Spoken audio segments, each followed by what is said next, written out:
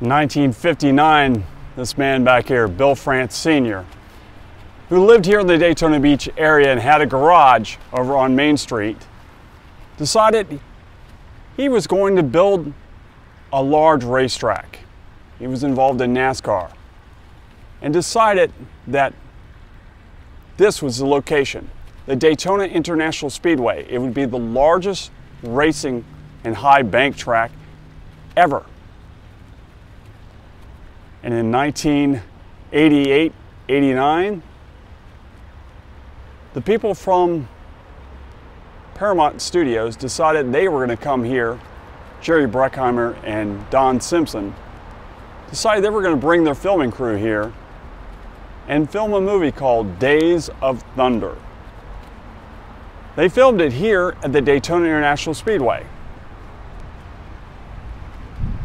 We're right in front of the ticket office right now. The Speedway is right behind us. We can't go inside, but we can walk along the outside and just kind of show you some of the stuff. So we'll walk down here and check out some stuff from the track.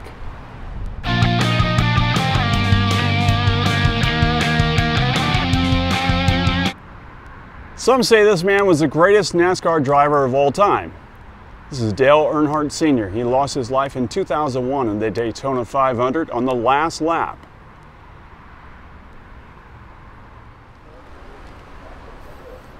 Handprints of all the winners from the Daytona 500 sit along here.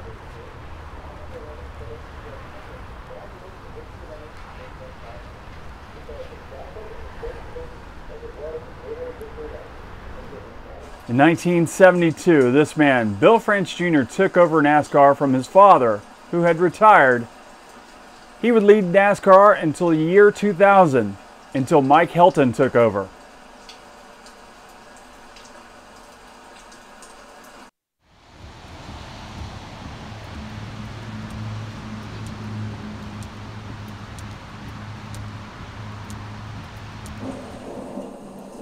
It's kind of a gloomy day, rain, and thunder. kind of appropriate for days of thunder. But this is turn number four. This is uh, the, the main grandstand looking down pit road and off to turn four and turn three. This is the old Daytona USA building there. When the cast from Days of Thunder showed up, Tom Cruise is said to be able to drive pretty well, but it was Greg Sacks behind the wheel with a, couple other NASCAR drivers. Michael Rooker was the rival to Cole Trickle. Michael Rooker, you might know him from The Walking Dead. Let's go look at some other locations for the movie. Welcome to Daytona Beach. Now, back in 1989, they did not have this. So they did not have this when Days of Thunder was So running on the Daytona International Speedway. Well, there are actually three locations for the hospitals in the Daytona Beach area.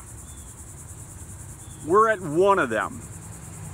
Okay, when Days of Thunder did the car crash, and the car crash happened and Cole and Rowdy Burns were shipped or sent to hospitals. They were sent to the Memorial Hospital. Well, that hospital used to sit right here. This hospital is not here. It was the actual Ormond Memorial Hospital. And that place would, been, would have been right here. That would have been the emergency room. The main hospital and the parking lot were over here the parking lot was there and the main structure was all back here, but the emergency ward was back here. And this would have said Memorial Hospital, where the, you would have seen the scene, you would have seen a uh, evac was in front of it, it would have said Memorial Hospital, but it actually was the Ormond Memorial Hospital, which has now been torn down and it was bought by Florida Hospital and they moved it out to Williamson Boulevard and now it's an Advent hospital. But this is actually where the Ormond Memorial Hospital was, where they actually filmed the exterior shots for Memorial Hospital. Now they did use two other hospitals. The other two hospitals were Halifax Hospital, which still is a trauma unit for Daytona International Speedway, but the main hospital that does sponsor the Daytona, Daytona International Speedway, that's hard to say, uh, Daytona International, International Speedway, uh, is actually the Advent Hospital. They sponsor the track, but the only trauma unit in the area actually is Halifax Hospital. And the third hospital that they did use, we're gonna go there next, and that was used for the interior shots. So we'll go there next. So the Days of Thunder crew used three hospitals. Two were for exterior shots. One was for interior shots, and that would have been this building here. This is the Florida Healthcare facility now, but at one time it was an abandoned hospital here in Holly Hill, Florida. They used the interior of this hospital, that former hospital, shall I say, for like the wheelchair race, the x-rays, the beds, whatever was used as a hospital was used right here. As you can see, this was a pretty large building, and this would have been the main entrance of the hospital, which it still is now for Florida Healthcare. So this is where it's at. It's right on Ridgewood Avenue. If you run down Ridgewood Avenue in Holly Hill, there's an attorney's office across the street and some other locations. The Sorrentos, which has been here forever. So if you're riding down, if you want to see this location, if you see the Sorrentos on Ridgewood Avenue, the building is right across the street. So this is where they filmed all the interior shots. I'm not sure exactly where, but in one of these these buildings or these offices now would have been rooms where they would have had beds and stuff.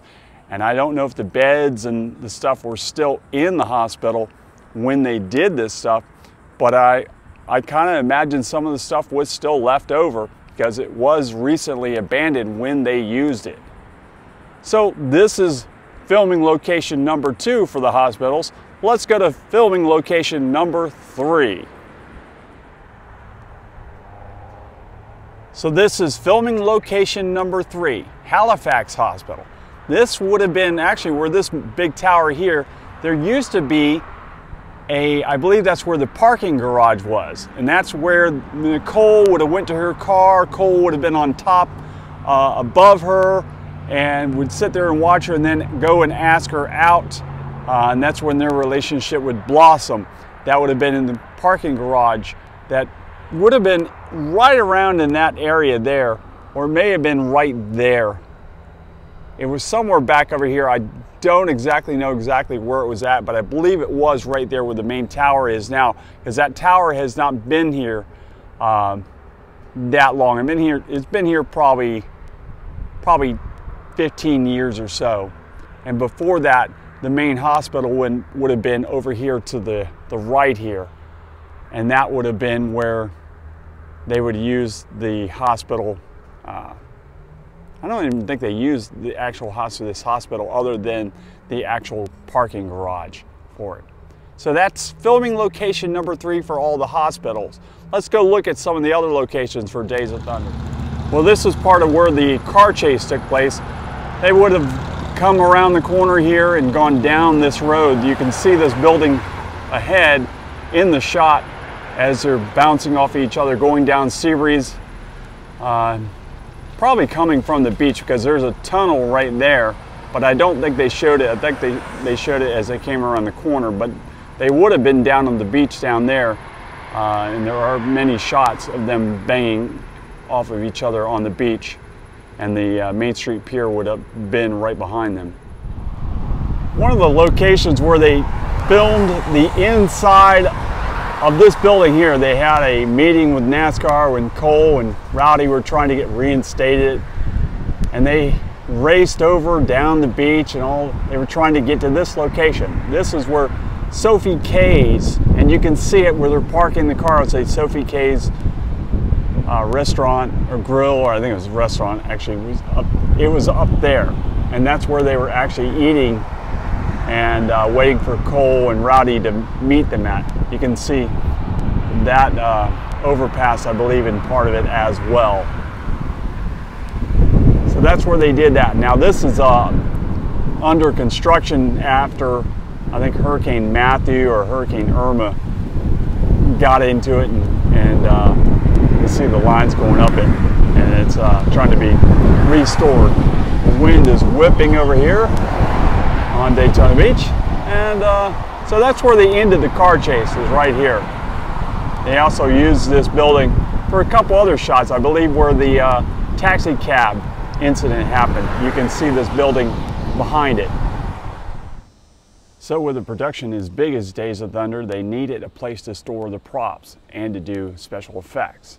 Well, they came here. These warehouses here off of Division Avenue in Ormond Beach. They came here and did the storing of the props in between shots. Also, they did special effects, from what I understand, in here as well. They did the special effects for the car crash that you can see when uh, Cole Trickle ran into Rowdy Burns they did that at the Flagler Airport. Now, if you watch that shot, you can see a, a tree actually uh, pops up in the background. That was done there. I can't go there because I can't get on the airport, uh, you know, naturally. But that's where that was done. But all the props were stored here in Ormond Beach. So when filming was done for Days of Thunder, they came here to the Coliseum to party, celebrate, It'd been a long time. Bruckheimer and Simpson did not get along during the movie, and there were countless delays for the movie. So when they finally did, they brought the cars, lined them up along here, Beach Street, and uh, they celebrated. So if you like this video, please give me a subscribe, give me a like, and follow me as I continue my journey on through theme parks, some racetracks, and some other fun stuff. So thanks for watching. We'll see you next time here at The Attic.